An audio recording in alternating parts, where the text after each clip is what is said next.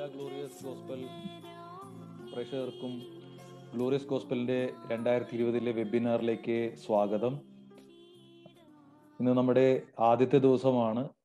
ഇന്ന് നമ്മളോടൊപ്പം ജോയിൻ ചെയ്യുന്നത് നമുക്ക് ഏവർക്കും സുപരിചിതനായിട്ടുള്ള വന്ദിശ്രീ ഫാദർ ബോബി ജോസഫ്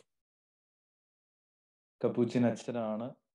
നമ്മളോടൊപ്പം അല്പസമയത്തിന് അതിന് അദ്ദേഹത്തിന്റെ പ്രാർത്ഥനയ്ക്ക് ശേഷമാണ് അദ്ദേഹം ജോയിൻ നമ്മളോട് ചെയ്യുന്നത്. അതുകൊണ്ട് അല്പസമയം കൂടെ നമ്മൾ വെയിറ്റ് ചെയ്യേണ്ടതുണ്ട്. ഗ്ലോറിയസ് ഗോസ്പലിന്റെ രണ്ടാമത്തെ ഒരു കോൺഫറൻസ് ആണ് നമ്മൾ ഓൺലൈനായിട്ട് വെക്കുന്നത്. നമുക്കറിയാം ഇപ്പോഴത്തെ ഒരു കോവിഡ് പശ്ചാത്തലത്തിൽ നമുക്ക് ഇത് രണ്ടാം വർഷമാണ്. ഇപ്പൊ ഈ വർഷത്തിൽ നമുക്ക് ഓൺലൈനായിട്ടാണ് നമുക്ക് തുടങ്ങാൻ സാധിച്ചത്. കഴിഞ്ഞ വർഷം നവംബർ ഇരുപത്തി ഒമ്പത് മുപ്പത് തീയതികളിൽ തിരുവല്ലയിൽ വെച്ച് നമ്മൾ ഗ്ലോറിയസ് ഗോസ്പലിന്റെ ആദ്യത്തെ ക്യാമ്പ് സംഘടിപ്പിക്കുകയുണ്ടായി. അന്ന് അപ്പോസ്തോലിക സഭകളിലെ വിവിധ വൈദികരും മേൽപ്പട്ടക്കാരും എല്ലാം നമ്മളോ നമ്മളോടൊപ്പം സന്നിധരായിരുന്നു. അതോടൊപ്പം തന്നെ ഒരുപാട് പേർക്ക് ആ ക്ലാസ്സുകൾ പ്രയോജനമായി. തുടർന്ന് നമ്മൾ ഓൺലൈനിൽ തന്നെ ഒരുപാട് ക്ലാസ്സുകൾ നമ്മൾ വീണ്ടും ഒരു ഹയർ സ്റ്റഡി ലെവലിലേക്ക് പോലെ നമ്മൾ ക്ലാസ്സുകൾ ഓരോന്ന് ഡീപ്പായി പഠിച്ചുകൊണ്ടിരിക്കുകയാണ്. തുടർന്നും നിങ്ങളും താല്പര്യം പ്രകടിപ്പിച്ച് വീണ്ടും ഇതിൽ ജോയിൻ ചെയ്ത് നമ്മളോട് കൂടെ കൂടിയതിൽ വളരെയധികം സന്തോഷം. ഒരുപാട് പേര് നമുക്ക് മെസ്സേജുകൾ ചെയ്തു കഴിഞ്ഞ രണ്ടു വർഷമായിട്ട് ഞങ്ങൾ ഗ്ലോറിയസ് ഗോസ്പൽ ഫോളോ നമുക്ക് മെസ്സേജ് ചെയ്ത് കഴിഞ്ഞിരിക്കുന്നു. അതുപോലെ തന്നെ നമുക്ക് പറയാം രണ്ടായിരത്തി പതിനെട്ടോട് കൂടിയാണ് ഗ്ലോറിയസ് ഗോസ്പൽ ആ ഗോസ്പൽ എന്ന രൂപത്തിൽ അല്ലെങ്കിൽ ആ ഒരു പ്യുവർ ഓർത്തഡോക്സി എന്ന രീതിയിൽ നമ്മൾ പാസ്റ്റർ ഷിബു പി ഡി ഏക്കൽ പ്രസംഗിച്ച് തുടങ്ങിയത്. അതിനു മുമ്പ് അറിയാം അദ്ദേഹം ഒരു പെന്തക്കൂസുകാരനായി ഒരു പെന്തക്കൂസ് പാസ്റ്ററായി അദ്ദേഹം ഇതിനു മുമ്പ് ലൈവുകൾ ചെയ്യുമായിരുന്നു.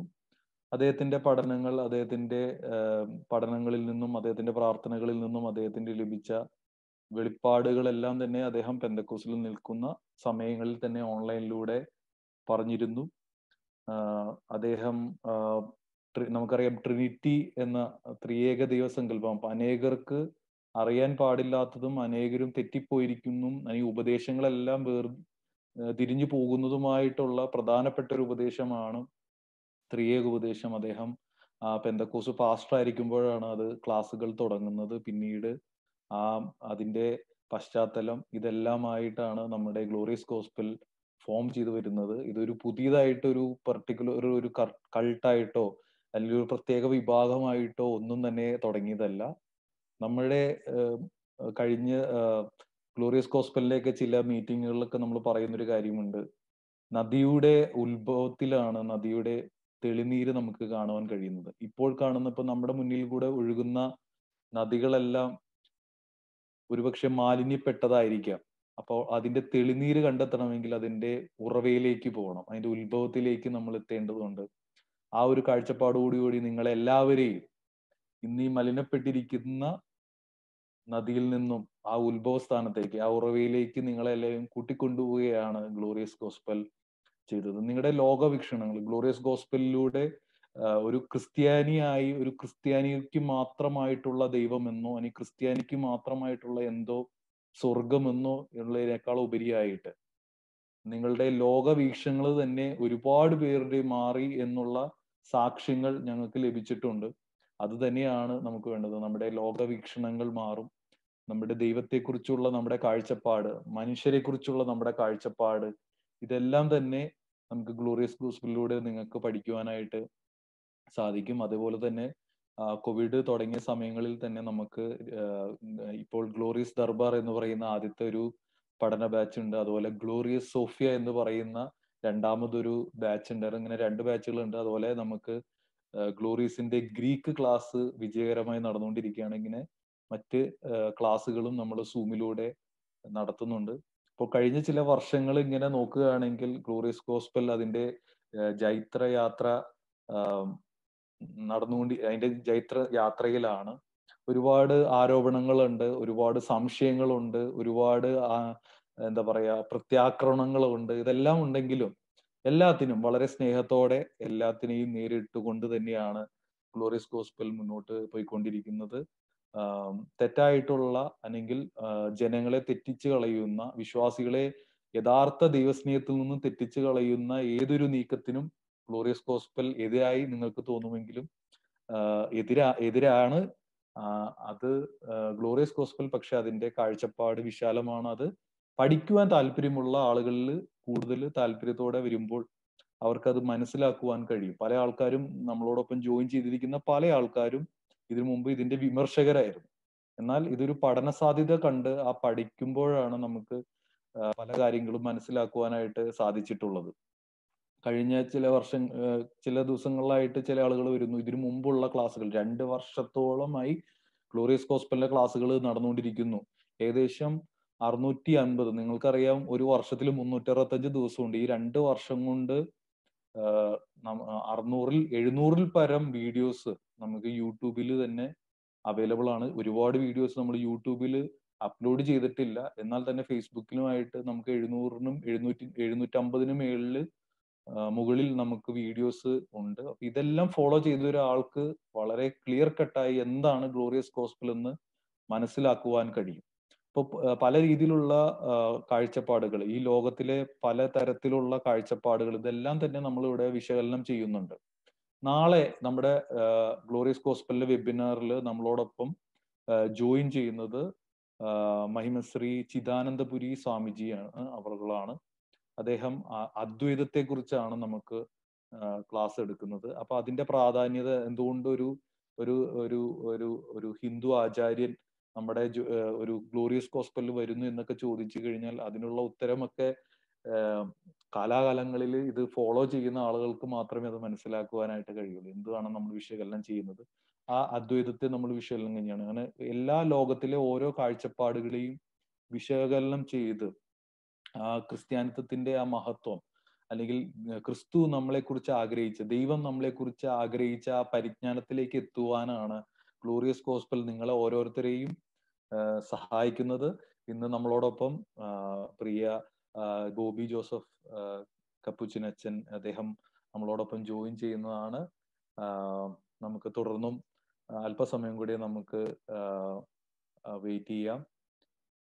അപ്പോൾ ആ ആ ക്ലാസ്സുകളിലേക്ക് നമുക്ക് ഉടനെ തന്നെ നമുക്ക് ജോയിൻ ചെയ്യാവുന്നതാണ്. സ്റ്റാറ്റ് എടുക്കുന്നത് കൊളോസൻസ് ഒന്ന് ഇരുപത്തി ആറ് ഇരുപത്തി ഏഴ് അതിനാധാരമാക്കി നമുക്ക് ഇത്തിരി ഒരു സത്സംഗം ആവാന്ന് കരുതുക. ടെസ്റ്റ് ഏകദേശം ഇങ്ങനെയാണ്. യുഗയുഗാന്തരങ്ങളായി മറച്ചു വെച്ച ഒരു നിഗൂഢത. അവസാന കാലങ്ങളിൽ തന്റെ വിശുദ്ധർക്ക് വെളിപ്പെടുത്തി കൊടുക്കാൻ അവിടെ തീരുമാനിച്ചായി അതിതാണ് മഹത്വത്തിന്റെ ആദികാരണമായ ക്രിസ്തു നിന്റെ ഉള്ളിലുണ്ട് എന്നത് തന്നെ. ഞാൻ വിചാരിക്കുന്നു കുറച്ച് ഗൗരവമായിട്ട് എടുക്കേണ്ട ഒരു വിചാരമാണത്.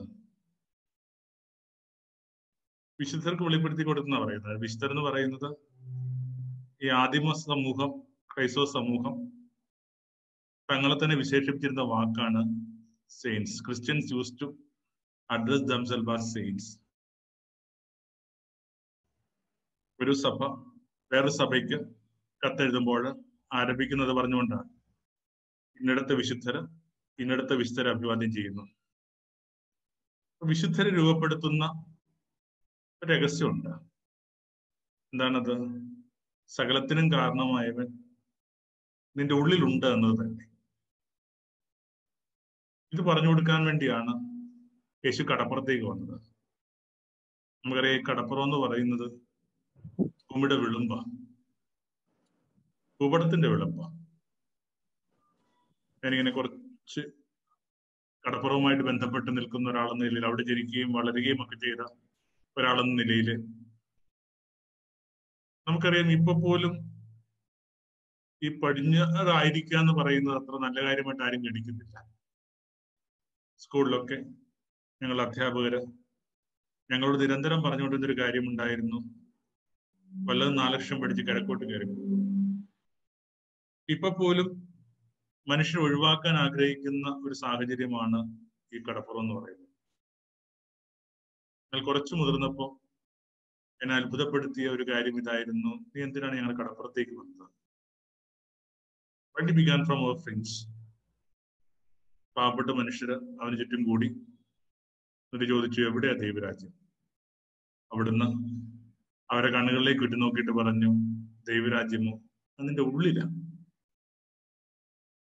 ഈ തിരുവചനത്തിന്റെ അനുബന്ധ വചനമാണ് ഇപ്പൊ നമ്മൾ സഭയിലേക്ക് കൊണ്ടുവരുന്നത്. ദൈവരാജ്യം നിന്റെ ഉള്ളിലാണെന്ന് പറയുന്നത്. ദൈവരാജ്യം എന്ന് പറയുന്നത് യേശു തന്നെയാണ്.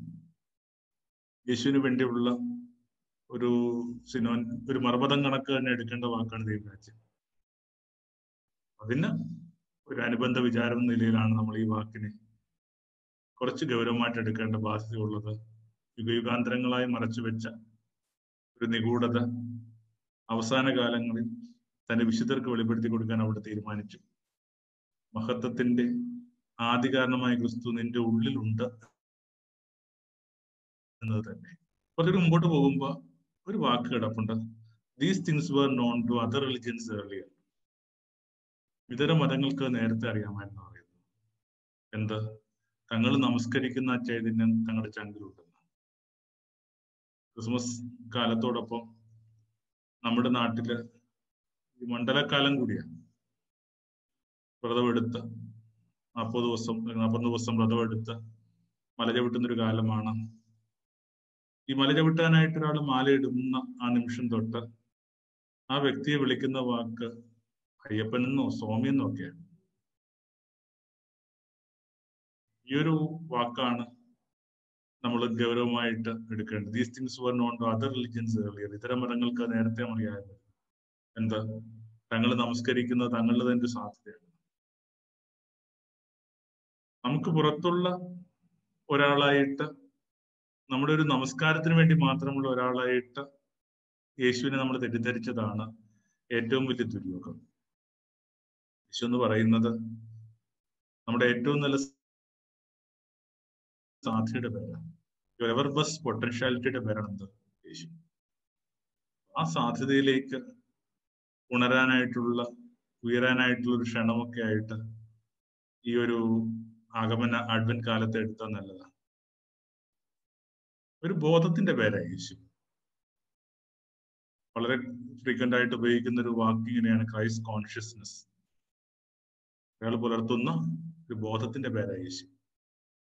ആ ബോധം എങ്ങനെയാണ് രൂപപ്പെടുന്നതെന്നും നിലനിർത്തേണ്ടതെന്നും തിരിച്ചറിയണമെങ്കിൽ ഒരു ലളിതമായ ഇക്വേഷൻ ഒന്ന് മനസ്സിലേക്ക് കൊണ്ടുവന്നാൽ മതി. അതെങ്ങനെയാണ്? ധ്യാനം പ്ലസ് സ്നേഹം പ്ലസ് ത്യാഗം സമം യേശു. ഇത് സഹനം സമ്മതിച്ചു യേശു നമ്മൾ ഇത്തിരി വ്യത്യാസമുണ്ട്. എന്താണ് നമുക്ക് ഈ ഒരു വിചാരത്തിന്റെ ഒടുവിലായിട്ട് സൂചിപ്പിച്ചു പോകാവുന്നതാണ്. ബോബിയിൽ എന്തുമാത്രം ക്രിസ്തു ഉണ്ടെന്ന് ബോബിയുടെ ചങ്ങാതിമാർക്ക് പിടുത്തം കിട്ടും. ഒരു മൂന്ന് ചോദ്യങ്ങൾ അവർക്ക് അയാളെ കുറിച്ച് ചോദിക്കേണ്ടതുണ്ട് ഇയാൾ എന്തുമാത്രം റിഫ്ലക്റ്റീവായിട്ടാണ് ജീവിക്കുന്നത്? എന്തുമാത്രം ബോധത്തിലാണ് ജീവിക്കുന്നത്? രണ്ട് ഇയാളുടെ സ്നേഹം എന്തുമാത്രം ശുദ്ധമാണ് മൂന്ന് ഈ ധ്യാനത്തിനും സ്നേഹത്തിനും വേണ്ടി ഇയാൾ എന്ത് കോസ്റ്റ് കൊടുത്തിട്ടുണ്ട്? മൂന്ന് വേദപുസ്തക സൂചനകൾ കൊണ്ട് കണ്ടെത്താവുന്ന ഉത്തരവായത്. ഒന്ന് വേദപുസ്തകത്തിലെ ഏറ്റവും ആദ്യത്തെ ആ ഒരു ചോദ്യം. നീ എവിടെയാണ്? ഒരാൾ അയാളുടെ ഇടം കണ്ടെത്തി അഗാധമായിട്ട് ജീവിക്കുന്ന ആ രീതിയുടെ പേരാണ് ധ്യാനം. ബുദ്ധിസ്റ്റ് ഒരു ടെർമിനോളജി അവയർനെസ് എന്ന് പറഞ്ഞൊരു വാക്കാ കുറെ കൂടി നല്ലത്. ഈ ബോധപൂർവമുള്ള ഒരു ജീവിതം സാധ്യമാണ്. എവിടെയാ? പലപ്പോഴും കൊച്ചു സാമുവലിന്റെ കഥയൊക്കെ ഞാൻ ഭയങ്കര ഭാരത്തോടുകൂടിയാണ് വായിക്കുന്നത്. കൊച്ചു സാമുവൽ പള്ളിക്കകത്ത് കിടന്നുറങ്ങിയ നമ്മുടെ ഭാഷയിൽ വേണമെങ്കിൽ മദ്ബഹയിൽ കിടന്നുറങ്ങിയ രാത്രിയിൽ എപ്പോഴോ വിളിമുഴങ്ങുന്നു സാമുവൽ സാമുവൽ. കുട്ടി ഞെട്ടി എണീറ്റ് വാതിൽ തുറന്ന് പുറത്ത് കൂടാരത്തിൽ വസിക്കുന്ന ഏലിയോട് ചോദിക്കുന്നു നിങ്ങൾ എന്നെ വിളിച്ചു? ഇത് മൂന്നാമത്തെ സംഭവിക്കുന്നുണ്ട്. അപ്പോഴാണ് ഏലിക്ക് പോലും പ്രകാശം ഉണ്ടാകുന്നത്. കുട്ടി ഉറങ്ങുന്ന ദേവാലയത്തിലാണെങ്കിൽ കുട്ടിയോട് സംസാരിക്കുന്നത് ദൈവം തന്നെയായിരിക്കും. ചുരുക്കത്തിൽ സംഭവിച്ച ഇതാണ്. കുട്ടി ഉറങ്ങുമ്പോൾ കുട്ടി ഈ ദേവാലയത്തിന്റെ ഭാഗം തന്നെ. പക്ഷേ കുട്ടി ഉണരുക എന്ന് പറഞ്ഞൊരു സബ് കോൺഷ്യസ് ആക്ട് ആണ്. അങ്ങനെ ഞെട്ടുടരുന്ന കുട്ടിയുടെ ബോധത്തിൽ ഈ സ്പേസ് ഇല്ല. നമ്മളും ഞായറാഴ്ച പള്ളിയിലായിരിക്കുമ്പോഴും ഓരോരോ ആരാധനക്രമങ്ങളിൽ ഏർപ്പെടുമ്പോഴും ഓരോരോ നോയമ്പ് കാലത്തും ഒക്കെ എന്തിന്റെതാണെന്നൊക്കെ ആലോചിച്ചെടുക്കാറുണ്ട്. പക്ഷെ നമ്മുടെ ഒരു ഉള്ളിന്റെ ഉള്ളിൽ നമ്മൾ ഇപ്പോഴും നമ്മൾ ആരുടേതാണ് എവിടത്തേതാണെന്നൊക്കെ ഉള്ള കാര്യങ്ങൾ അഗാധമായിട്ട് ഇങ്ങനെ കർവ് ചെയ്യപ്പെട്ടിട്ടില്ല. ഒന്ന് നീ എവിടെയാണ്? സ്വന്തം ഇടം കണ്ടെത്തി ഒരാൾ അഗാധമായിട്ട് ജീവിക്കാനായിട്ട് ശ്രമിക്കുന്ന രീതിയുടെ പേരാ ധ്യാനം. അവനവന്റെ ഇടം കണ്ടെത്താത്ത കൊണ്ടാണ് മനുഷ്യർ ഇത്രയും ഓട്ടങ്ങളിൽ ഏർപ്പെട്ടുകൊണ്ടിരിക്കുന്നത്. പഴയ നിയമത്തിലെ ഹാഗാറിന്റെ കഥ എടുക്കുക. ഒരു സ്ത്രീ ഓടാൻ തീരുമാനിക്കുക. കാരണം ആരും അവളോടൊപ്പം ഇല്ല. അവളുടെ പുരുഷൻ അവളോടൊപ്പം ഇല്ല. അവളുടെ കൊച്ചമ്മ അവളോടൊപ്പം ഇല്ല. ഈ സ്ത്രീ ഇങ്ങനെ വീട് വിട്ട് ഇറങ്ങാനായിട്ട് തീരുമാനിച്ചു. ഓടിപ്പോകുന്ന വഴിയിൽ എവിടെയോ വെച്ച് ദൈവദൂതൻ അവളെ തടഞ്ഞു നിർത്തി. എന്നിട്ട് ചോദിച്ചു ഹാഗാറെ നീ എവിടേക്ക് പോകുന്നു? എവിടെ നിന്ന് വരുന്നു? ഫൈൻഡ് യുവർ സ്പേസ് എന്ന ആ വാക്കിന്റെ ഐ ഈ ടോട്ടലായ അർത്ഥം. എന്റെ ഇടം എവിടെ? അപ്പൊ ഈ സ്ത്രീക്ക് മനസ്സിലായി അന്തിക്കൂലിക്ക് വേണ്ടി തന്നെ പെടാപ്പണി ചെയ്യിപ്പിക്കുന്ന ഈ സ്ത്രീ അല്ല തന്റെ യജമാനത്തി. രണ്ട് സ്ത്രീകൾക്കിടയിൽ തർക്കം ഉണ്ടാകുമ്പോൾ ഒഴിഞ്ഞു മാറുക ആ പുരാതന സ്ട്രാറ്റജി പുലർത്തുന്ന ഈ പറഞ്ഞ പുരുഷനുമല്ല തന്റെ യജമാനൻ. താൻ ഇവരുടെ ആദ്യമല്ല അങ്ങനെ മരുഭൂമിയിൽ ദേവദൂതൻ ഉയർത്തിയ ആ ചോദ്യത്തിന് മുമ്പിൽ ഒരു സ്ത്രീ തന്റെ ഇടം കണ്ടെത്താൻ തീരുമാനിച്ചു. അങ്ങനെ ഇടം കണ്ടെത്തിയ ആ സ്ത്രീയെ കുറിച്ച് നമ്മൾ വായിച്ചു കേൾക്കുന്നു. അവൾ പിന്നീട് എങ്ങോട്ട് ഓടിപ്പോകുന്നില്ല. മടങ്ങിപ്പോവുകയാണ് ഓടിപ്പോകുമ്പോ അവൾ കടിമയുടെ ശരീരഭാഷയായിരുന്നു മുനി പിടിച്ചായിരുന്നു ഇപ്പൊ അവൾ യജമാനത്തിയാണ്. സ്വന്തം ഇടം കണ്ടെത്തിയ മനുഷ്യരൊക്കെ അവരവരുടെ യജമാനന്മാരാണ്. നാളെയും അവൾ കുനിഞ്ഞിരുന്ന് തറ തുടക്കുന്നുണ്ടാവും. കുഞ്ഞുങ്ങളെ കുളിപ്പിക്കുന്നുണ്ടാവും വസ്ത്രം അലക്കുന്നുണ്ടാവും പാചകം ചെയ്യുന്നുണ്ടാവും പക്ഷെ അവൾ ആരുടെ അടിമയല്ല. You are going to be your mistress you are going to be your master ഇടം കണ്ടെത്തിയ മനുഷ്യൻ അവനവന്റെ യജമാനായിട്ട് ജീവിക്കുന്ന രീതിയുടെ പേരാ ധ്യാനം. ഫൈൻഡ് യുവർ സ്പേസ് എനിക്ക് തോന്നുന്നു എല്ലാ പ്രതിസന്ധികളും ഈ ഇടം പ്രതിസന്ധിയാണ്. ബുദ്ധ പാരമ്പര്യത്തിൽ ഒരു കഥയുണ്ട്. ആചാര്യന്റെ വീട്ടിൽ മോഷ്ടിക്കാൻ ചെന്നൊരു മനുഷ്യനാണ്. ആചാര്യൻ അവനോട് പറഞ്ഞു നിന്നോട് മോഷ്ടിക്കരുതെന്ന് ഞാൻ പറയത്തില്ല നിന്റെ തൊഴില. നീ ഒരു കാര്യം ചെയ്താൽ നല്ലതാണ്. മേൽ മോഷ്ടിക്കുമ്പോൾ മോഷ്ടിക്കാണെന്ന ബോധത്തിൽ മോഷ്ടിച്ചോളാം അയാൾക്കതൊരു വല്ലാത്തൊരു ഫലിതം കണക്ക് അനുഭവപ്പെട്ടു അയാൾ ചിരിച്ചുകൊണ്ട് ഈ ഇരുട്ടിലേക്ക് ഓടിപ്പോവുകയും ചെയ്തു. എന്നാൽ ഏതാനും ദിവസങ്ങൾ കഴിയുമ്പോൾ ഏതാനും മാസങ്ങൾ കഴിയുമ്പോൾ ഈ മനുഷ്യൻ ഈ ആചാര്യന്റെ അടുക്കൽ വന്നിട്ട് പറയുകയാണ് നീ എന്റെ ജീവിതത്തെ വല്ലാതെ തകർത്ത് കളഞ്ഞു. എന്റെ ജീവിതത്തെ കുട്ടിച്ചോറാക്കി. ഒരു വളരെ അനുകമ്പയോട് ചോദിക്കുന്നുണ്ട് നീ പണിക്കൊക്കെ പോകുന്നില്ലേ? ഉണ്ട്. അവസരങ്ങളൊക്കെ ഒത്തു കിട്ടുന്നില്ലേ? ഉണ്ട്. പിന്നെയോ? അയാൾ പറഞ്ഞു ഇന്നലെ വരെ ഒരു ശീലം കണക്ക് മോഷ്ടിക്കുകയായിരുന്നു. സെക്കൻഡ് നേച്ചർ കണക്ക് മോഷ്ടിക്കുകയായിരുന്നു അപ്പൊ മോഷ്ടിക്കുകയാണെന്ന ബോധത്തിൽ മോഷ്ടിക്കാൻ തുടങ്ങുമ്പോ കൈ അനങ്ങുന്നില്ല. അവളും കുഞ്ഞുങ്ങളും പട്ടിണിയില്ല. രണ്ടുപേരുടെയും കണ്ണ് നിറഞ്ഞു കൊടുക്കുന്നു. ഈ മനുഷ്യൻ പിന്നീട് ഗുരുവായിട്ട് പരിവർത്തനം ചെയ്യപ്പെടുകയോ പരാവർത്തനം ചെയ്യപ്പെടുകയോ ചെയ്യുക. മോഷ്ടിക്കുമ്പോ മോഷ്ടിക്കുകയാണെന്ന ബോധത്തിൽ മോഷ്ടിക്കുക. പിടുത്തം കിട്ടും. ഞാൻ എടുത്തതും ആഗ്രഹിച്ചതും അപഹരിച്ചതും ഒന്നും എന്റെതായിരുന്നില്ല സ്വന്തം ഇടം കണ്ടെത്തി ഒരാൾ അഗാധമായിട്ട് ജീവിക്കാനുള്ള ശ്രമത്തിന്റെ പേരാണ് ധ്യാനം അതിൽ ആ ചോദ്യത്തിന് കൃത്യമായിട്ട് ഉത്തരം കൊടുക്കേണ്ട ബാധ്യതയുണ്ട്. നീ എവിടെയാണ്? രണ്ടാമത്തെ ബൈബിൾ ചോദ്യം എന്താണ്? നിന്റെ സഹോദരൻ എവിടെയാണ്? Your brother What is your brother? What has happened to your lung? ഒരു പത്തൊമ്പത്തിമൂന്ന് വയസ്സെത്തുമ്പോ എന്നെ അലട്ടുന്ന ഏറ്റവും വലിയ പ്രശ്നം ഹൗ ട്രൂലി ലവ് എനിവൺ സ്നേഹിച്ചിട്ടുണ്ട്? സ്നേഹിക്കാനല്ല യേശു നമ്മളടുത്ത് പറഞ്ഞിരിക്കുന്നത്. ഞാൻ സ്നേഹിച്ചതുപോലെ സ്നേഹിക്കാനല്ല. നമ്മുടെ ബെഞ്ച് മാർക്ക് ഭയങ്കര ഹൈ ഏതെങ്കിലും തന്നെ ഒരു അളവിൽ കുറച്ച് ഭേദപ്പെട്ട സ്നേഹമുള്ള ഒരാളാണെന്നൊക്കെ തെറ്റിദ്ധാരണ എനിക്കുണ്ടായിരുന്നു. എപ്പോ വരെ?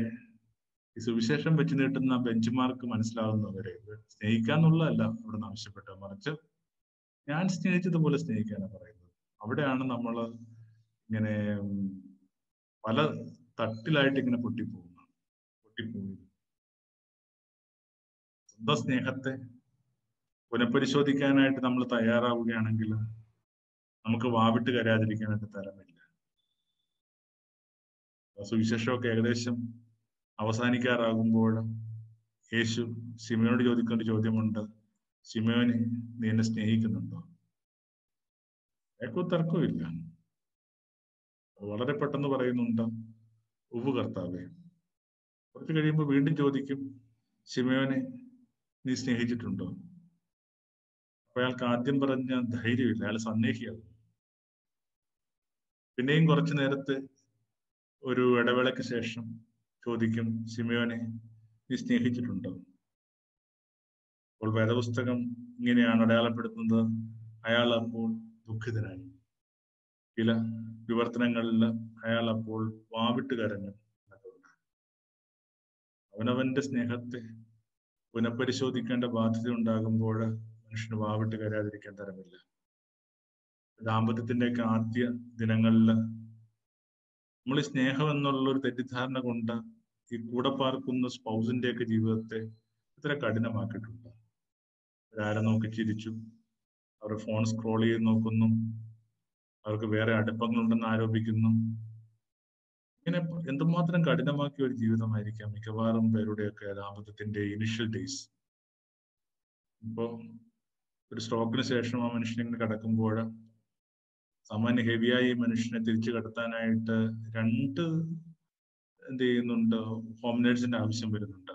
രണ്ട് സ്ത്രീകൾ ഇയാളെ തിരിച്ചു കടത്താനായിട്ട് ശ്രമിച്ചുകൊണ്ടിരിക്കുമ്പോൾ ചെറിയ ചെറിയ കാര്യങ്ങളുടെ മീതെ കഠിനമായിട്ട് ഭ്രാന്തമായിട്ട് പോസസീവായിട്ട് പരസ്പരം കഠിനമാക്കി ദിനങ്ങളെ ഓർത്തിട്ട് നിങ്ങൾക്ക് കരയണമെന്ന് തോന്നില്ലേ നമ്മൾ സ്നേഹിച്ചിട്ടുണ്ടോ? മരിച്ച വീട്ടിലൊക്കെ ചെല്ലുമ്പോഴുള്ള പ്രധാനപ്പെട്ട പ്രശ്നം അതാണ്. മരിച്ച വീട്ടിൽ മനുഷ്യന്റെ വാവിട്ടുകാരൻ എന്തുകൊണ്ടാണ് കുറെ കൂടി ഭംഗിയായിട്ട് സ്നേഹിക്കാമെന്നൊക്കെ ഓർത്തിട്ട് തന്നെ. ജീവിച്ചിരുന്ന കാലത്ത് കുറെ കൂടി പരിഗണന കൊടുക്കാമെന്നൊക്കെ ഓർത്തിട്ട് തന്നെ. പലപ്പോഴും വിചാരിക്കുന്നുണ്ട് മനുഷ്യർ മരിച്ചു എന്ന് കേൾക്കുമ്പോൾ പെട്ടെന്ന് പോയി കാണാനായിട്ട് താല്പര്യപ്പെടുന്നത് അവരുടെ റിഗ്രറ്റ് കൊണ്ടാണ്. അവർ വയ്യാതായിരുന്ന കണത്ത് അവർ ബുദ്ധിമുട്ടിലായിരുന്ന സമയത്ത് അവർ ഡിപ്രഷനിലായ സമയത്തൊക്കെ പോയി കാണാൻ പറ്റുമായിരുന്നു പക്ഷെ കണ്ടില്ല. ഒന്ന് നീ എവിടെ? രണ്ട് നിന്റെ സ്നേഹം എവിടെ? ഭൂമിയിലുള്ളത് പല അളവുള്ള ഇഷ്ടങ്ങൾ മാത്രമാണ്. എന്താ ഇഷ്ടം? എന്താ സ്നേഹം സ്നേഹമെന്ന് ഡിസ്റ്റിങ്വിഷ് ചെയ്ത് കാട്ടാൻ വേണ്ടി യേശു പറഞ്ഞിട്ടുള്ള കഥയുണ്ട്. ആ കഥ നമ്മൾ നമ്മുടെ ഓർമ്മയിൽ കൃത്യമായിട്ട് സൂക്ഷിച്ചു വെക്കണം. കാരണം അത് ഒരു ഉടമ തന്റെ ഒരു വയൽ കാര്യസ്ഥനെ ഏൽപ്പിക്കുകയാണ് എന്നിട്ട് പറഞ്ഞു ഇത് നീ നോക്കിക്കൊള്ളണം. സന്ധ്യാമാവൻ വന്നിട്ട് പറഞ്ഞു നീ എന്നെ ഏൽപ്പിച്ച ആ ഇടത്തിൽ കുറെ കളകളുണ്ട്. ഞാൻ എന്നെ പറിച്ചോട്ടെ. യജമാൻ പറയുന്ന ഒരു കാര്യമുണ്ട്. കളയും വിളയും വേർതിരിക്കാൻ നിന്നെ ഏൽപ്പിച്ചിട്ടില്ല. നിന്നെ ഏൽപ്പിച്ചത് ഒരു തുണ്ട് ഭൂമിയാണ്. നിനക്ക് നിന്നെ ഏൽപ്പിച്ച ആ ഒരു തുണ്ട് ഭൂമിയെ അതേപോലെ സ്വീകരിക്കാൻ പറ്റുമോ can you accept your dear ones as a patch of land അപ്പനെ അപ്പന്റെ ഒരു ആൽക്കഹോളിക് ബെൻഡ് നമുക്കറിയാം. മദ്യപാനം എന്ന് പറയുന്ന രോഗം. മറ്റേതൊരു രോഗത്തെ കണക്ക് രോഗം. അപ്പൊ ആ ഒരു രോഗാതുരതയോട് കൂടി പത്തോളജി ഫ്രെയിമോട് കൂടി നിങ്ങൾ നിങ്ങൾക്ക് നിങ്ങളുടെ അപ്പായെ സ്വീകരിക്കാനായിട്ട് പറ്റും. അവളെ അവളുടെ ഭീതികളോട് ഫോബിയകളോട് സ്വീകരിക്കാൻ പറ്റും. അയാളെ അയാളുടെ അഡോസിറ്റിയോട് സ്വീകരിക്കാൻ പറ്റുമോ ബോസിനെ അയാളുടെ മാനിപ്പുലേഷനോട് സ്വീകരിക്കാനായിട്ട് പറ്റും. ചങ്ങാതി അയാളുടെ ചതിയോട് സ്വീകരിക്കാനായിട്ട് നമ്മളെ ഏൽപ്പിച്ച ഒരു തുണ്ട് ഭൂമിയെ അതേപോലെ സ്വീകരിക്കാൻ പറ്റുക എന്നുള്ള അന്വേഷണത്തിന്റെ പേരായി സ്നേഹം എന്ന് പറയുന്നത് അത് ഇഷ്ടങ്ങളായിരുന്നു. ഇഷ്ടങ്ങളിലാണ് നമ്മൾ ഇന്ന ഇന്ന കാര്യങ്ങൾ ഒഴിവാക്കി കഴിഞ്ഞെന്നാൽ ഞാൻ അയാളോടൊപ്പം ആയിരിക്കും അയാൾക്ക് വേണ്ടി നിലനിൽക്കും എന്നൊക്കെ പറഞ്ഞു ചുരുക്കത്തിൽ അമ്പത്തിമൂന്ന് വയസ്സെത്തി കഴിയുമ്പോൾ പിടുത്തം കിട്ടുന്ന വളരെ കഠിനമായ യാഥാർത്ഥ്യം ഉണ്ടായിരുന്നു ഒക്കെ ഇഷ്ടങ്ങളായിരുന്നു. അവസാന കാലങ്ങളിൽ യോഹനാൻ പറഞ്ഞിരുന്ന വാക്കുണ്ട് അഗാപ്പെ. ഗ്രീക്ക് ഭാഷയിൽ സ്നേഹത്തിനൊരു നാല് പദങ്ങളുണ്ട്. താല്പര്യമുള്ളവർക്കൊന്ന് ഗൂഗിൾ ചെയ്ത് നോക്കാവുന്നുള്ളൂ ഈ നാല് പദങ്ങൾ സ്നേഹത്തിന് വേണ്ടിയാണെന്ന് പറഞ്ഞാൽ പോലും അയാൾ ഉപയോഗിച്ചിരുന്ന വാക്ക് അഗാപ്പ് എന്ന് പറഞ്ഞ വാക്ക് അതിന്റെ ശുദ്ധ സ്നേഹം എന്നാണ്. പ്യുവർ ലവ് ഈ പ്യുവർ ലെവലിലേക്ക് എത്തുക എന്നുള്ളതാണ് പ്രധാനം. നമുക്കൊരു ഒരു കൽപ്പനയും നൽകിയിട്ടുണ്ട്. ഒന്നോർത്ത് കഴിഞ്ഞാൽ അയാളുമായി ബന്ധപ്പെട്ട് ജീവിക്കുന്നവർക്ക് കാര്യങ്ങൾ വളരെ സരളമാണ്. അവിടുന്ന് തന്നെ പറയുന്ന കണക്ക് എന്റെ മുഖം മധുരവും ഇങ്ങനെ ഭാരം കുറഞ്ഞതുമാണ് ലഘുവാണ് കാരണം അവിടുന്ന് വെച്ച് നീട്ടുന്ന ആ ഒരു മുഖം എന്ന് പറയുന്ന റെസ്പോൺസിബിലിറ്റി വിളിക്കുന്ന വാക്കാണ് മുഖം എന്ന് പറയുന്നത്. അവിടെ നമുക്ക് വേണ്ടി ധരിച്ചു കേൾക്കുന്ന മുഖം എന്ന് പറയുന്നത് സ്നേഹത്തിന്റെ മുഖം സ്നേഹത്തിന്റെ മുഖം എപ്പോഴും ലഘുവും മധുരവും കാരണം ആ സ്നേഹിക്കുന്നവർ കാര്യമായിട്ട് തങ്ങളുടെ ഭാരത്തെക്കുറിച്ച് വ്യാകുലപ്പെടാറില്ല. അപ്പോ നമുക്കൊരൊറ്റ കൽപ്പനയെ നൽകപ്പെട്ടുള്ളൂ സ്നേഹം അതുകൊണ്ട് തന്നെ നമുക്കൊരൊറ്റ പാപമേ ഉള്ളൂ വയലേഷൻ ഓഫ് ലവ് സ്നേഹലംഘനം.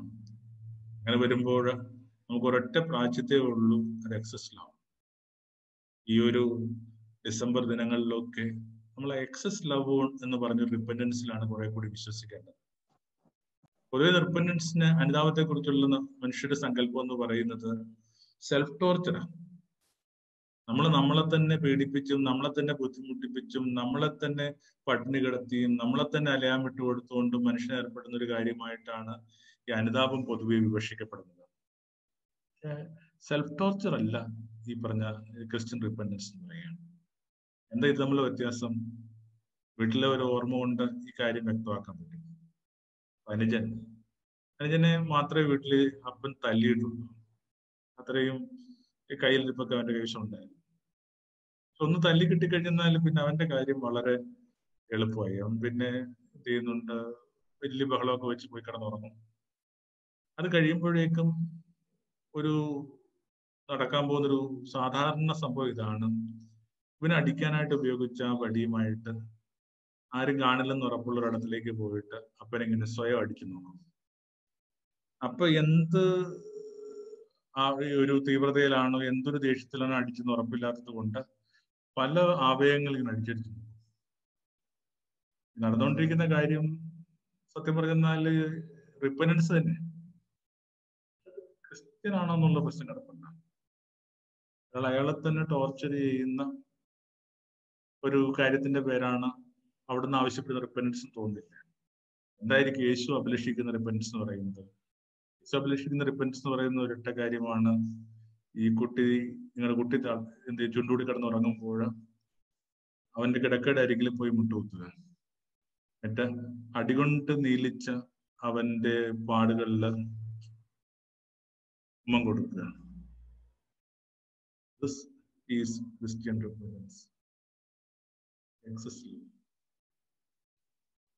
കൂടുതലായി സ്നേഹിച്ചതുകൊണ്ട് ഇവരുടെ കൂടുതലായ പാപങ്ങൾ പൊറുക്കപ്പെട്ടിരിക്കുന്നു ഒരു വിരുന്നുമേശയിൽ ആതിഥേയനെ അത്ഭുതപ്പെടുത്തിക്കൊണ്ട് അവിടേക്ക് പ്രവേശനം അസാധ്യമായ ഒരു സ്ത്രീ അവന്റെ കാൽപാദങ്ങളിൽ പൂച്ചക്കുഞ്ഞു ചുരുണ്ടുകൂടിയിരിക്കുന്നതൊക്കെ ചുരുണ്ടുകൂടി എന്നെ തെരുതരാ ചെമ്പിച്ചു എന്ന വേദപുസ്തകം പറയുന്നത്.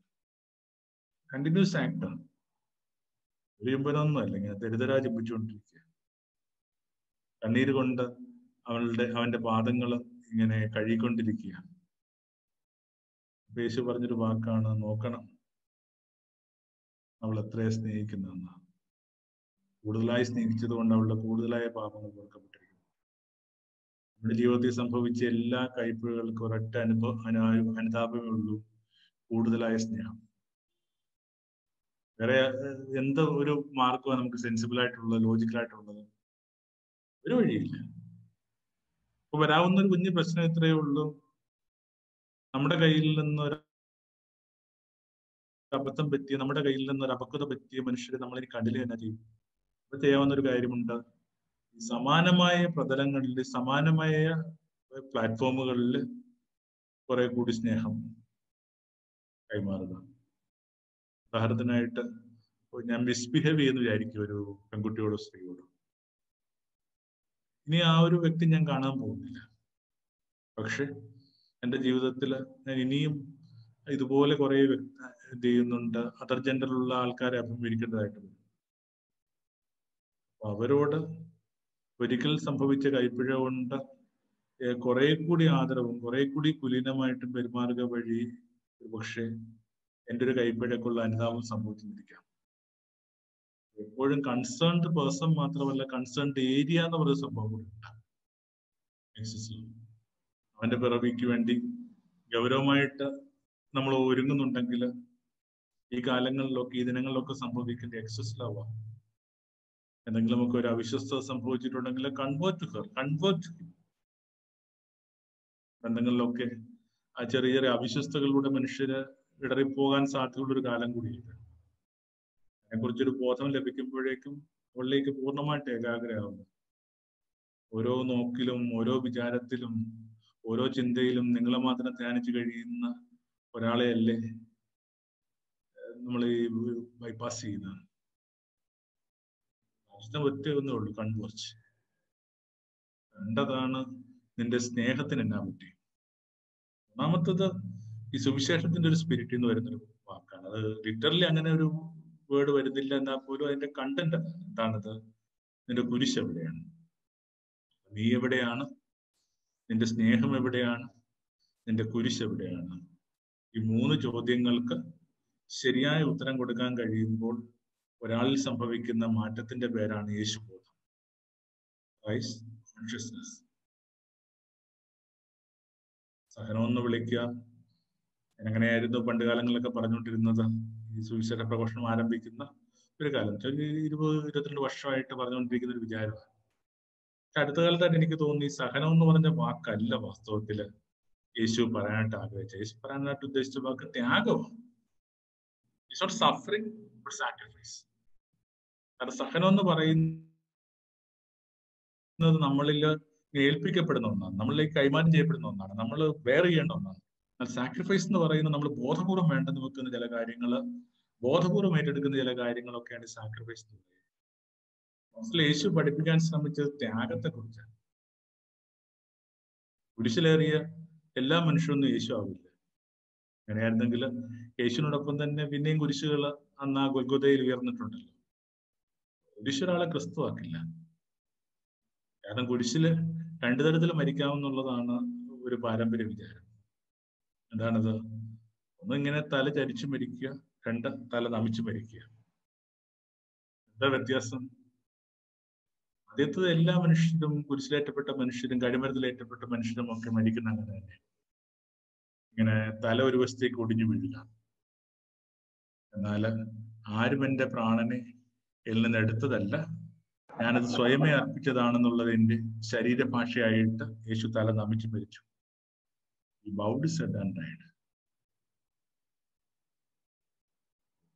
ബോധപൂർവം ഏറ്റുവാങ്ങുന്ന ഒരു സഹനത്തിന്റെ പേരാണ് ത്യാഗം. എന്ന് പറയുന്നത് ചിലപ്പോ ഇങ്ങനെ ഓർക്കാറുണ്ട്. ഏറ്റവും കൂടുതൽ കള്ളം പറയുന്ന മനുഷ്യർ ഈ സ്നേഹിക്കുന്ന മനുഷ്യനാണ്.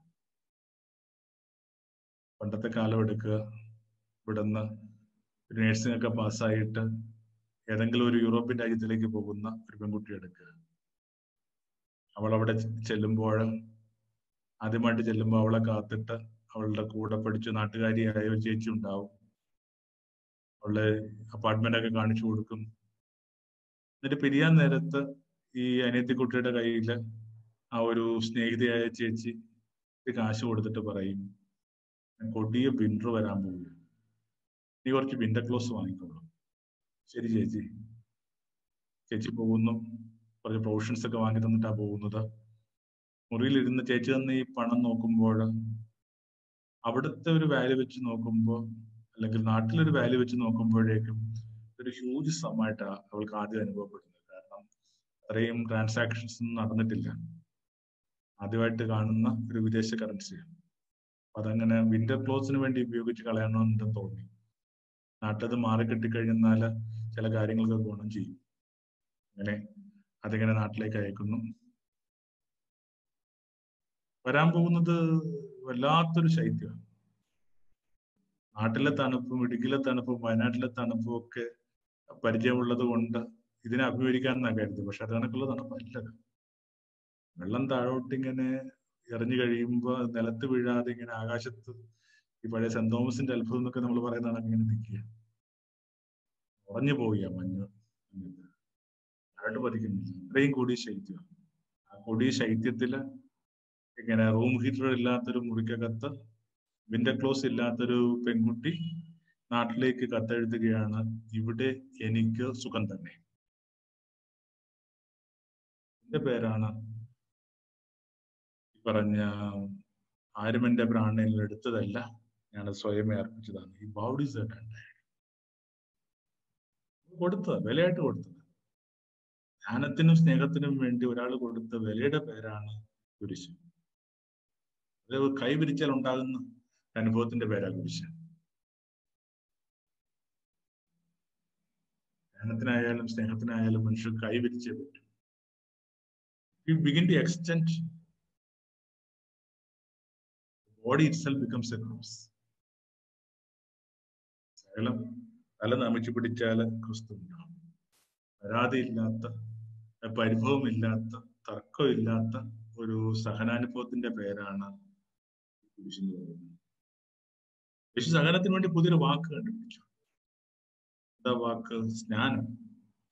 എനിക്കൊരു സ്നാനം സ്വീകരിക്കുക ബോധപൂർവം ഒരാളെ ഏറ്റുവാങ്ങുന്ന അനുഭവത്തിന്റെ പേരാ സ്നാനം. എന്നെ കുളിപ്പിക്കാനായിട്ട് കുട്ടിയെ ശ്രമി ശ്രമിക്കുമ്പോ അവൻ കൈതട്ടി മാറ്റി ഓടിപ്പോയി കഴിഞ്ഞാൽ അവൻ കുട്ടിക്ക് സ്നാനം ചെയ്യുമെന്ന് പറയാൻ പറ്റത്തില്ല. ഈ ഷവർ താഴെ നിൽക്കുന്ന ഒരാളുടെ അനുഭവമാണ് സ്നാനം. തുള്ളി പോലും പുറത്തു പോകരുതെന്ന് പ്രാർത്ഥനയോട് ഇങ്ങനെ നിൽക്കുന്ന വിളിക്കുന്ന വാക്കാണ് സ്നാനം. ഈ സ്നാനം നമ്മൾ കാണുന്നത് ബീലാത്തോസ് എനിക്ക് വല്ലതും പറയാനുണ്ടോ? ഒന്നും പറയണില്ല. കാരണം എന്തെങ്കിലും ഒരു എക്സ്പ്ലനേഷൻ പറയാൻ ശ്രമിച്ചാൽ പോലും ഈ തലയിൽ വീണ വെള്ളം ചെതറിപ്പോകും. അതുകൊണ്ട് എക്സ്പ്ലനേഷൻ പോലും തയ്യാറായില്ല.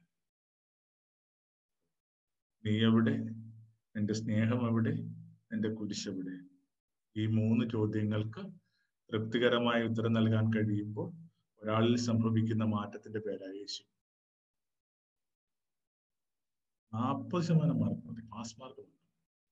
തൊണ്ണൂറും തൊണ്ണൂറ്റഞ്ചും ഒക്കെ ഈ വലിയ പുണ്യവാന്മാർക്ക് വേണ്ടി നമുക്ക് താല്പര്യമില്ല. ചൂടുകാലങ്ങളിൽ മരക്കൂട്ടിൽ സാമ്പ്രാണിന്റെ ഇങ്ങനെ പുകയൊക്കെ അടിച്ച് നിൽക്കാനായിട്ട് നമുക്ക് വിസ്തരാകാനും താല്പര്യമൊന്നുമില്ല. പക്ഷെ തോറ്റുപോയ എന്നാ ചെയ്യും? ചോദ്യപേപ്പർ കിട്ടിയിട്ട് കഴിഞ്ഞ രണ്ടായിരം വർഷമായിട്ട് തോറ്റുകൊണ്ടിരിക്കുന്ന ഭൂമിയിലെ ഏറ്റവും മോശപ്പെട്ട കുട്ടികളുടെ പേരാണ് ഒരു ഷാലോ ആയിട്ടുള്ള ജീവിതമായിരുന്നു. കുറേ ആചാരങ്ങൾ കുറെ സമ്പ്രദായങ്ങൾ. സാധ്യതയായിട്ടൊന്നും നമുക്കത് ആരും പറഞ്ഞു തന്നിട്ട് പോലും ഇല്ല മനുഷ്യന്റെ ഏറ്റവും നല്ല സാധ്യത പേരാണ് യേശു ആരും പറഞ്ഞത് ഒരാളും നമ്മുടെ കണ്ണിൽ നോക്കിയിട്ട് ദൈവരാജ്യം നിന്റെ ഉള്ളിലാണെന്ന് പറഞ്ഞു തന്നിട്ടില്ല.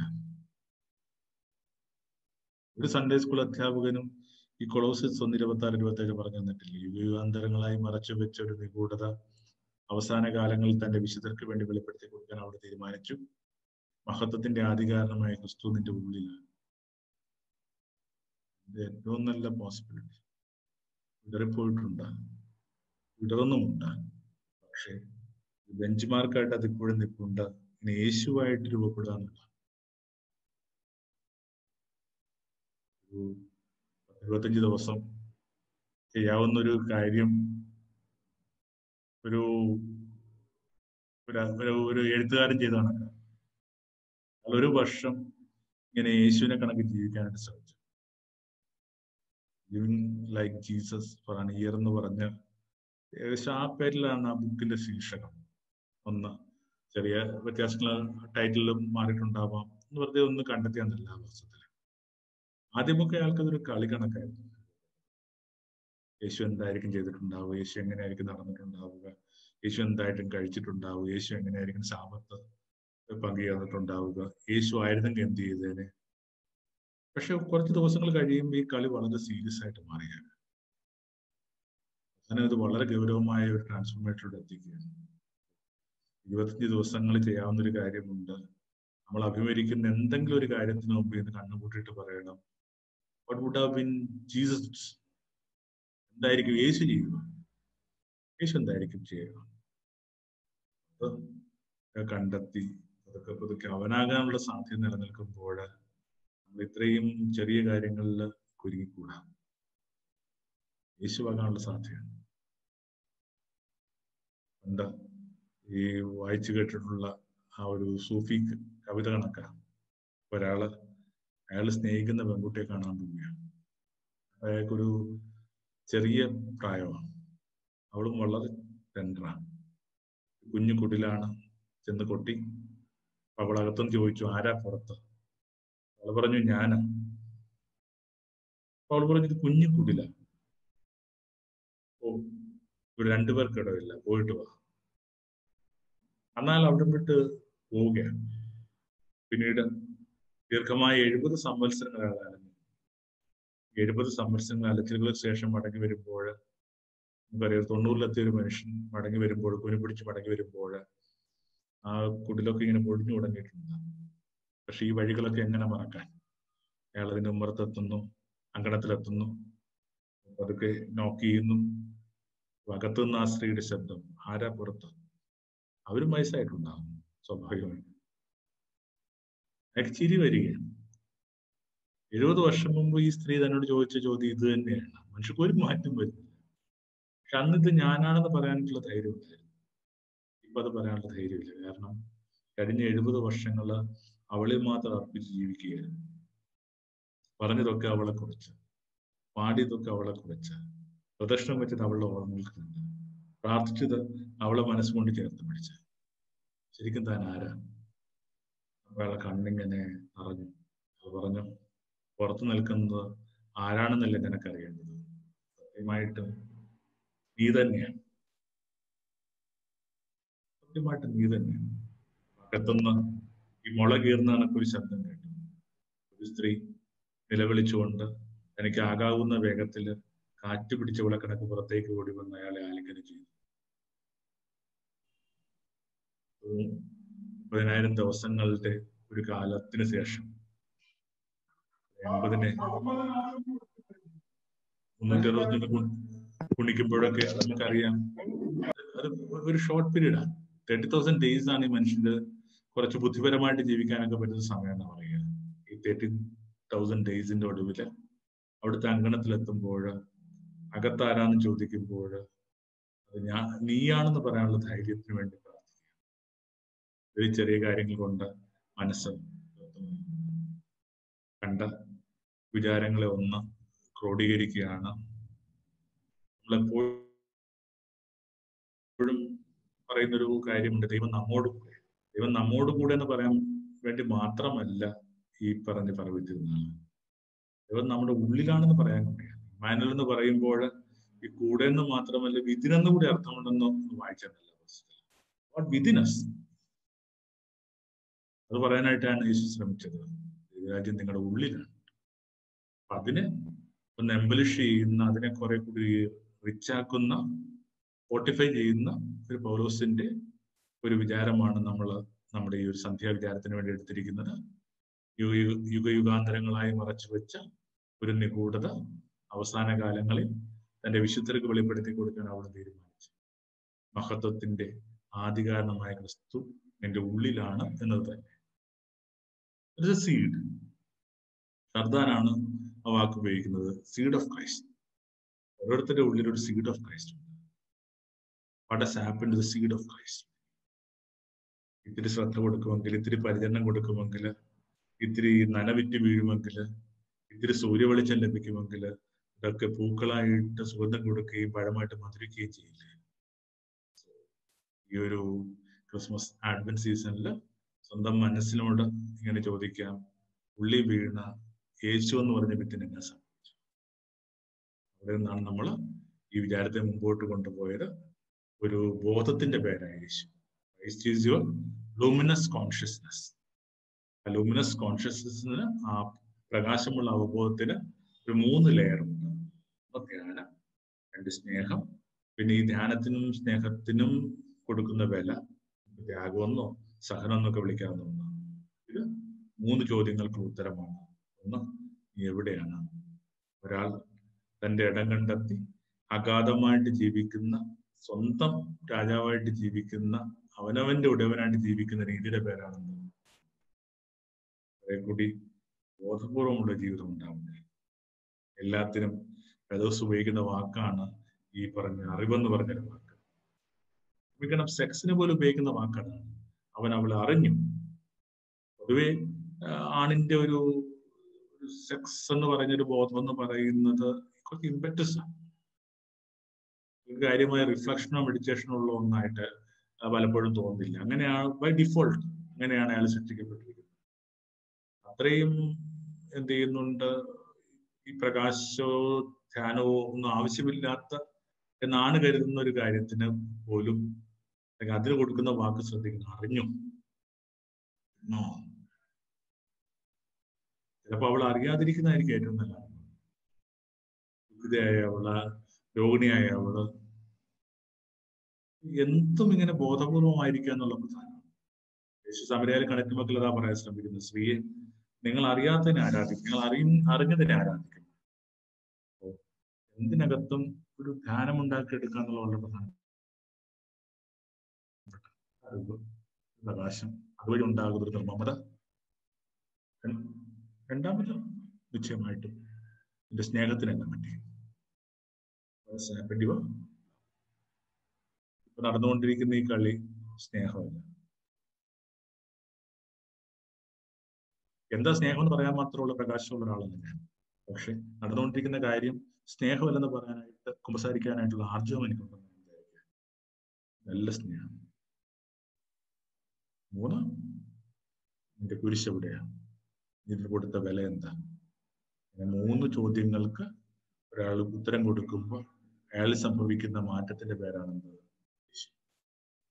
പേരാണെന്ന് is your ultimate possibility most beautiful possibility ഇതൊക്കെ പറയുമ്പോൾ എനിക്ക് വല്ലാത്ത സന്തോഷം കിട്ടുമായിരുന്നു അത്തരം ദിനങ്ങളിൽ എനിക്ക് പെട്ടെന്ന് എന്റെ അപ്പനെ കാണാൻ തോന്നി. കാരണം ഈ പറഞ്ഞ എല്ലാ ഘടകങ്ങളും അപ്പനിലുണ്ട് അപ്പൻ ഒരു റിഫ്ലക്റ്റീവ് പേഴ്സൺ ആയിരുന്നു. ഒരു മൗനത്തിന്റെ ഒരു മനുഷ്യനായിരുന്നു.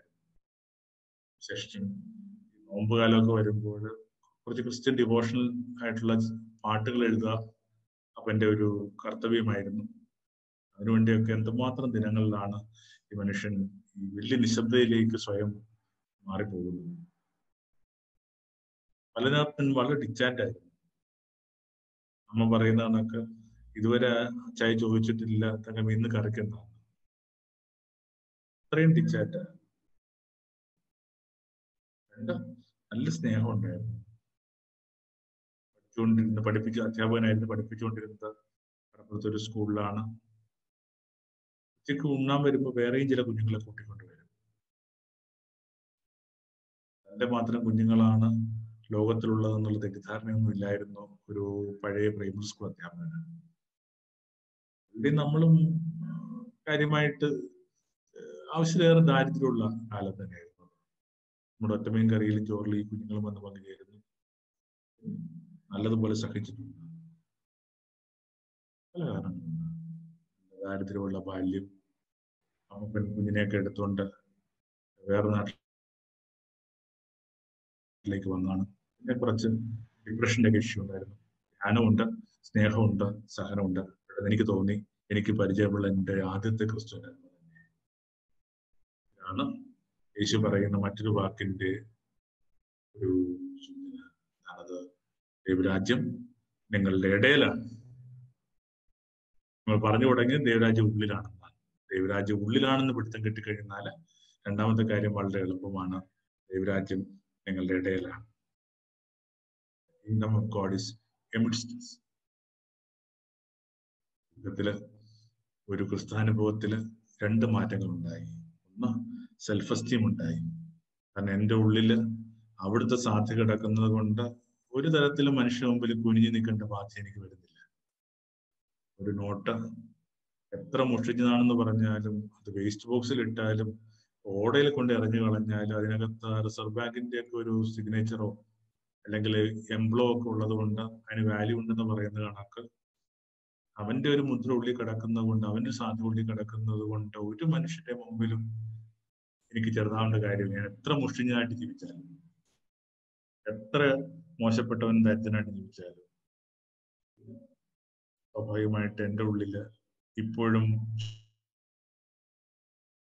ശൈശവാസ്ഥ നിൽക്കുന്ന ചില കാര്യങ്ങൾ ചിലയിൽ പൂക്കളായിട്ട് മധുരിക്കുന്നതും പഴമ പൂക്കളായിട്ട് സ്വന്തം കൊടുക്കുന്നതും പഴമായിട്ട് മധുരിക്കുന്നതൊക്കെ ഞാൻ കാണുന്നുണ്ട്.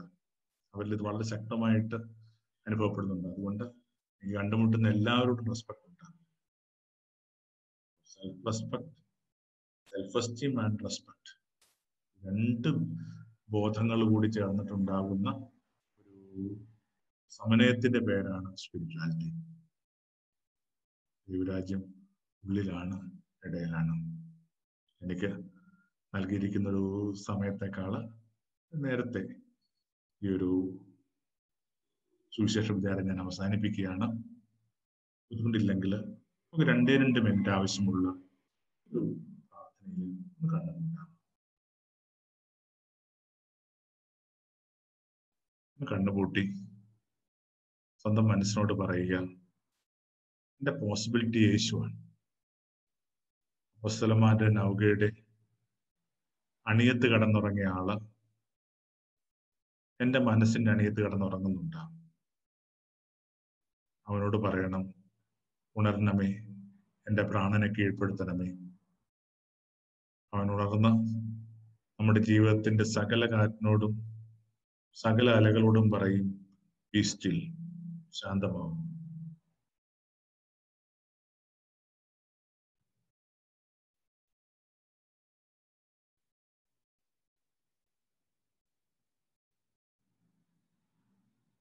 ചൊല്ലി തരുന്ന ഒരു പ്രാർത്ഥന.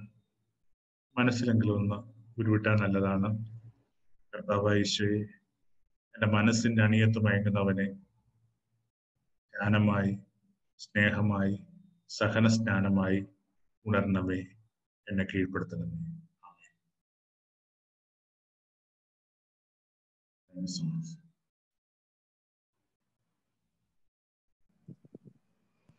നമ്മളിലെ ക്രിസ്തു ദൈവത്തിന്റെ രാജ്യത്തെക്കുറിച്ച് നമ്മുടെ ക്രിസ്തുവിനെ കണ്ടെത്തുന്ന ലളിതമായ വളരെ ലളിതമായിട്ടുള്ള സന്ദേശം അച്ഛനിൽ നിന്ന് കേൾക്കാനിടയായി തീർന്നു ഇപ്പോൾ അച്ഛന് നന്ദി പറയുവാനായിട്ട് ഡോക്ടർ സുനിൽ വർഗീസ് അവരുകളെ ക്ഷണിക്കുന്നു. ഏറ്റവും ആദരണീയനായ ബോബി ജോസ് അച്ഛൻ ഗ്ലോറിയസ് ഹോസ്പിറ്റലിന്റെ സുഹൃത്തുക്കളെ.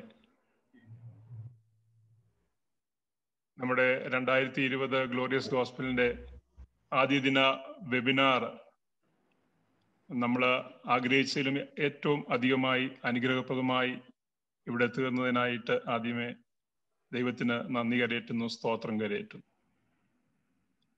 ബഹുമാനപ്പെട്ട ബോബി ജോസ് അച്ഛൻ അച്ഛന്റെ വിലപ്പെട്ട സമയം ഞങ്ങൾക്ക് വേണ്ടി ചെലവഴിച്ചതിനായിട്ട് ഞങ്ങൾക്ക് വളരെയധികം സന്തോഷമുണ്ട്. അച്ഛന്റെ ഗുരുചരണം എന്ന സീരിയൽ ഒന്നിട ഒന്നുപോലും ഒഴിയാതെ കണ്ടിട്ടുള്ള ഒരു വ്യക്തി എന്ന നിലയ്ക്ക് അച്ഛന്റെ ഇന്നത്തെ ഓരോ ദിവസം ഓരോ ധ്യാനവും പുതിയ പുതിയ അർത്ഥതലങ്ങളിലേക്ക് ഞങ്ങളെ കൊണ്ടുപോകും. അതിൽ ഞങ്ങൾക്ക് അച്ഛന്റെ വിലപ്പെട്ട സമയം ഇന്ന് ഷെയർ ചെയ്തതിലുള്ള വലിയ സ്നേഹം അറിയിക്കുന്നു. സ്വർഗം ഭൂമിയിലേക്ക് സ്നേഹത്തിന്റെ പടവുകൾ പണിത ഈ ദിവസങ്ങളിൽ ഞങ്ങൾക്ക് സ്നേഹത്തിന്റെ അർദ്ധതലങ്ങൾ വിവരിച്ച് തന്ന് ധ്യാനാത്മകമായി പറഞ്ഞു തന്ന അച്ഛന്റെ ഉൾക്കാഴ്ചയ്ക്കായിട്ട് ഞങ്ങളോടുള്ള കരുതലിനായിട്ട് ഞങ്ങളെപ്പോഴും നന്ദിയുള്ളവരായിരിക്കും. സ്വർഗസ്നായ പിതാവിന്റെ സ്നേഹം അനുഭവിച്ചറിഞ്ഞ വിവിധ ക്രിസ്തീയ സഭവിഭാഗങ്ങളിൽപ്പെട്ട ആൾക്കാരുടെ ഒരു കൂട്ടായ്മയാണ് ഗ്ലോറിയസ് ഗോസ്പൽ അതിനോട് ചേർന്ന് അച്ഛൻ ഇത്ര സമയം ചെലവഴിച്ചു. ഞങ്ങൾക്ക് ഞങ്ങളുടെ ക്രിസ്മസ് ഏറ്റവും അർത്ഥവത്തായി തുടങ്ങുവാൻ. നീ എവിടെയാണ്? നിന്റെ സ്നേഹം എവിടെയാണ്? നിന്റെ ക്രൂശ് എവിടെയാണ്? എന്നീ മൂന്ന് വിഷയങ്ങൾ പല വളരെ ഡീപ്പായിട്ട് വളരെ തോട്ട്ഫുള്ളായിട്ട് അച്ഛൻ ഞങ്ങളോട് ഷെയർ ചെയ്ത്. വളരെ നന്ദിയുണ്ട്. ഞങ്ങളുടെ എല്ലാവരുടെയും പേരിൽ പ്രത്യേകിച്ച് ഞങ്ങൾ ഞങ്ങൾക്ക് വേണ്ടി എല്ലാം പറഞ്ഞ ഞങ്ങളുടെ ഒരു ഗുരുഭൂതനായ ഞങ്ങളുടെ ഷിബു പിടിയാക്കൽ പാസ്റ്ററിന്റെ പേരിലും ഞങ്ങളുടെ എല്ലാവരുടെയും പേരിലുള്ള നന്ദിയും സ്നേഹവും കടപ്പാടും ഈ സമയം അച്ഛനെ അറിയിക്കുന്നു. കർത്താവ് ധാരാളമായി അച്ഛൻ അനുഗ്രഹിക്കട്ടെ.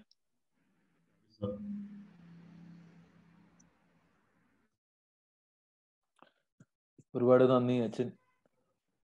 Thank you doctor. നമുക്ക്